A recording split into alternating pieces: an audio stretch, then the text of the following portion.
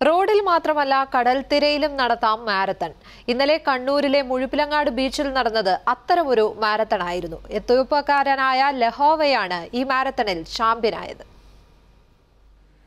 നാലു കിലോമീറ്റർ കടൽത്തിരയിലൂടെയും നാലു കിലോമീറ്റർ കരയിലൂടെയുമായി എട്ട് കിലോമീറ്റർ ഓടിയെത്തുന്നതായിരുന്നു മുഴുപ്പിലങ്ങാട് മാരത്തന്റെ വ്യത്യസ്തത.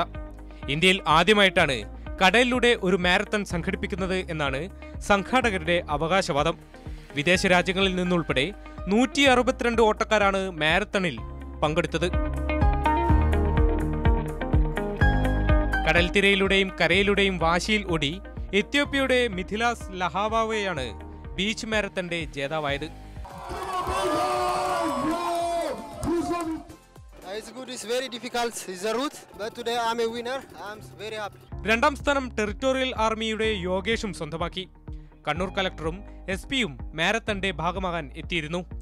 കണ്ണൂർ ജില്ലാ ഭരണകൂടവും ഡി ടി പി സിയും ചേർന്നാണ് മുഴുപ്പിലങ്ങാട് ബീച്ച് മാരത്തന്റെ ആദ്യഘട്ടം സംഘടിപ്പിച്ചത്. വരും വർഷങ്ങളിലും മാരത്തന്റെ എഡിഷനുകൾ നടത്താനാണ് സംഘാടകരുടെ തീരുമാനം. കണ്ണൂരിൽ നിന്നും ക്യാമറാമാൻ വിപിൻ മുരളിക്കൊപ്പം ധനേഷ് രവീന്ദ്രൻ ഏഷ്യാനെറ്റ് ന്യൂസ്.